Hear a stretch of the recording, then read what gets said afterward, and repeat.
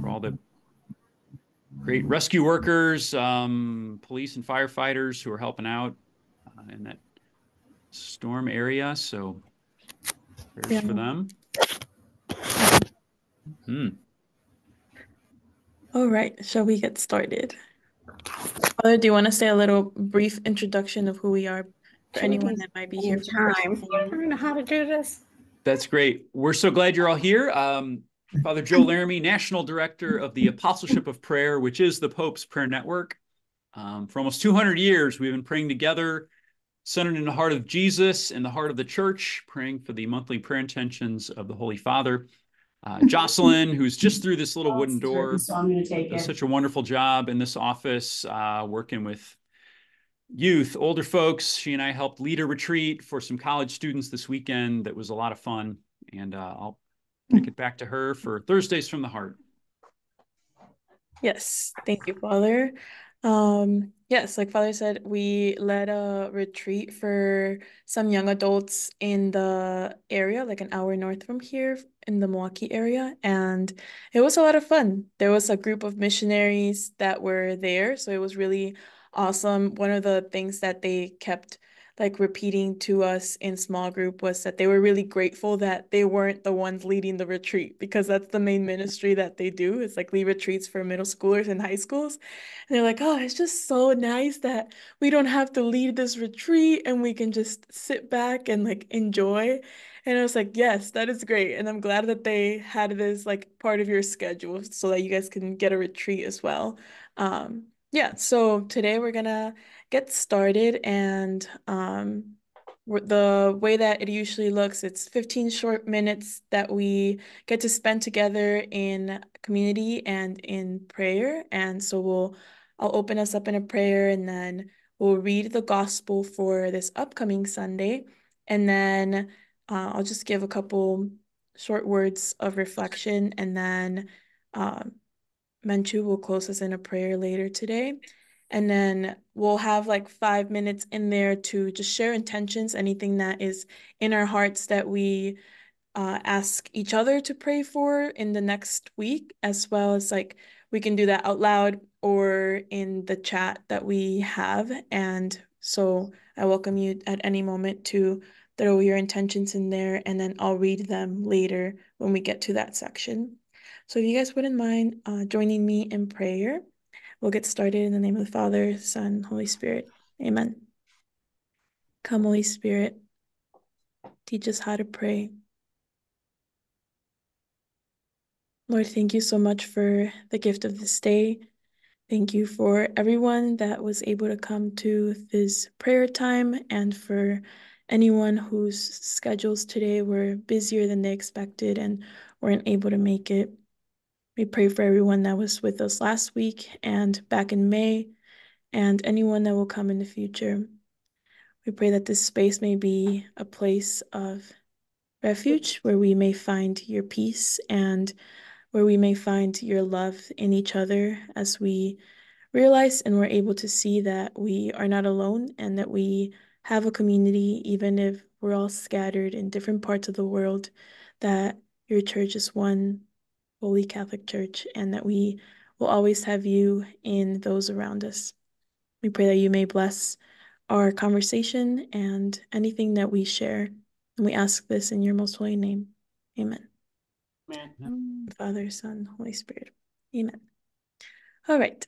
Uh, I don't see Lillian here, but I um, she was gonna be the volunteer for the reading the gospel, but I will read it for us if Father Joe, if you want to share that in the chat so everyone can follow along. It's a reading from the Gospel of Mark. As Jesus was setting out on a journey, a man ran up, knelt down before him, and asked him, Good teacher, what must I do to inherit eternal life? Jesus answered him, Why do you call me good? No one is good but God alone. You know the commandments you shall not kill, you shall not commit adultery, you shall not steal, you shall not bear false witnesses, you shall not defraud. Honor your father and your mother. He replied and said to him, Teacher, All of these I have I have observed from my youth. Jesus, looking at him, loved him and said to him, You are lacking in one thing. Go, sell what you have and give to the poor, and you will have treasure in heaven. Then come follow me. At that statement, his face fell, and he went away sad, for he had many possessions. Jesus looked around and said to his disciples, How hard it is for those who have wealth to enter the kingdom of God. The disciples were amazed at his words. So Jesus again said to them in reply, Children, how hard it is to enter the kingdom of God. It is easier for a camel to pass through the eye of a needle than for one who is rich to enter the kingdom of God. They were exceedingly astonished and said among themselves, Then who can be saved? Jesus looked at them and said, For human beings it is impossible, but not for God. All things are possible for God. The Gospel of the Lord. Praise to you, Lord Jesus Lord Christ. Christ. There are many things in this upcoming Sunday's Gospel to pray with. And I was like, oh, I'll talk about how I have a lot of clothes and um should get rid of some of them. and then I got to the second part and I was like, oh man, they also talk about getting into the kingdom of heaven. And uh, there's just a lot. And uh, I don't even know what to share with you all, but um, I got to go to uh, my friend is leading a Bible study here in the area, and it's just a couple of young young adult women that have been going for the last couple of weeks, and um, it's been really nice and like really awesome to have that opportunity to be able to sit around a coffee table with some other girls and share just as we read through scripture both what comes up and like what how we're understanding it and there's always a mix of like girls that have studied theology before and other people that have not and it's helpful because they get to explain a little bit more sometimes like oh this St. Paul is writing to this group of people and during that time and then she, they fill in the blank and it's really nice and so with with that I definitely encourage you guys if there's anyone in the group that has like ever been to a Bible study or um, would like to start one in your own home to consider that and um, just know that like our your wisdom that the Lord has given you through both life experience and or if you've studied theology and have been able to understand um, church teachings to be able to share that with the people around you because it's a really big blessing and it's a really big gift and you never know like who will be impacted by just the things that you carry that you have learned from life or from being able to go to school and um, or from like Harry, you said you did some uh, formation with the Jesuits or Franciscans. Um, and yeah, just like everything that we have, our spiritual life is much rich, richer and fuller than maybe we like think it is. And um, so never forget that your words, that the Holy Spirit works through you and can speak to those around you. And like Jesus was sharing with his disciples, one, the invitation to give up everything that they had and to follow him and seeing that this one young man like he found it really difficult and maybe he wasn't able to do that then and maybe years from then he like was able to see the sacrifice of Jesus on the cross and give up his life in a different way but it's not an easy thing to do and like Jesus said um I don't want to quote the wrong thing, but it's easier for a camel to pass through the eye of a needle than for one who is rich to enter the kingdom of God. And my teammates and or my coworkers and I today we were getting ready to film videos for the upcoming months and I was like, "Oh, I really already want to talk about just like Thanksgiving and gratitude, but it was a little bit too early still to hop into the Thanksgiving and end of year and like being grateful for um, Jesus being born in like the Advent season or in preparation for him being born in the Advent season. But I think that gratitude is definitely one thing that I have been praying with a little bit the last couple of days of like continuing to remember to be grateful for, like I said, all the wisdom and gifts that we have, but then also for the things that we have surrounding us, the the wealth in a way that we have in our lives, and to take that to prayer and also ask God, like, where are you calling me to um, give different things up for you and for um, a greater sense of humility and um, space to be able to give to others as well.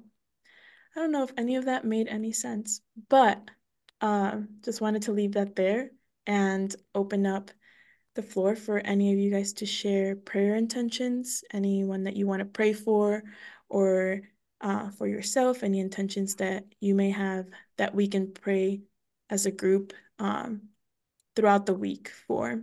And this video I am recording so that we can share it with you all. Uh, you can find it on YouTube and then go back through the prayer intentions that anyone mentioned. So the floor is open. Anything that we can pray for. Jocelyn, I'd like to say prayer for all the people who lost their homes in Florida today. And as you mentioned, gratitude is so important, and we're so grateful to have our homes and to be living in safety. And uh, just just wanted to pray for for all those people who don't have a home tonight because of the hurricane in Florida. Mm-hmm. Amen. Yes. Thank you, Anita. Menchu? I would like to pray for just the COP16 that is going to start very soon in Colombia, um, because there are many things people don't know that they're going to be deal there, like the synthetic biology and how this is going to affect the trees, all the environment that we are taking for granted. And this is going to affect just all humanity. And it is like nobody knows what is going on. So I, I let just in the hands of the Lord this problem. Mm-hmm. Yes. Your mercy, Lord. Amen. Amen. Uh, Denise asked for prayers um, for considered be formed Father Burke Masters in Joliet uh, weekly sessions via Zoom or in person. So for all those participants that are going to that, and uh, Harry, for we'll be praying for your son Neil as he's seeking work.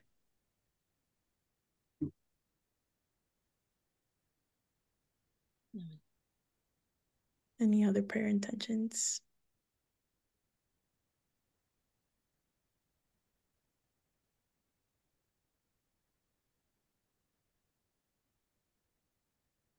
Susan. Yes. Um, I would just like to add my light and intention of mind and heart to what has already been mentioned that we pray for our planet, for the restoration of the waters, the land, the air, all the life streams living here. Um, they've been greatly damaged, and there's a smaller amount of people that are involved in that. But I would like you know, the Lord's blessing and the angels to start to really bring that momentum in. And the other is, of course, we all were in prayer yesterday for those that have been impacted by the latest Hurricane Milton. But thanks be to God, it reduced in its impact from what was originally foreseen. Nonetheless, all those people are in great need. And I would just like to add our intentions in there for that. Yes. Thank you. Thank you, Susan. Uh-huh. Thank you.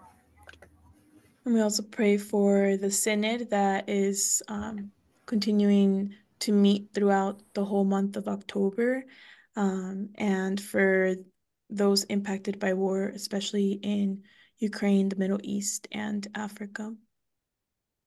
I'd also like to pray for all expectant mothers and um, anyone who recently gave birth for their recovery and for all those moms that are expecting for a safe pregnancy and delivery of their babies.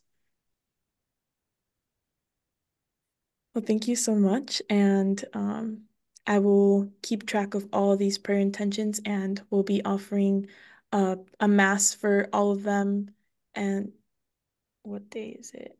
October 31st. So we'll keep collecting all the prayer intentions from the month and uh, we'll have a mass as a team on that day. And Menchu, would you like to close us off in a prayer? Yes. Thank you. In your hands, Lord, we are all, we need you for every step that we do. We put just into your hands our lives, our sufferings, our doubts, our problems, our loved ones, all the people that they are suffering in this world, in so many things, in wars, in famines, in droughts, in floods. And we are putting as well all those that are to come, for they can find just the wonderful paradise that you created. In your mercy, Lord, have mercy on us. Amen. Amen. Thank you so much. And just a reminder, next week we'll be meeting at the same time, October 17th at same time, 3 p.m. Central Time. And Okay. yeah, thank you so much for joining us and have a good rest of your week and a safe weekend. Thank you. Thank you. Thank you. Bye-bye. Bye. Bye. Thank you. Thank you all. Jocelyn, great job as always. Yes. Prayers for you all. Thank you. Thank you, Menchu, for praying. Uh,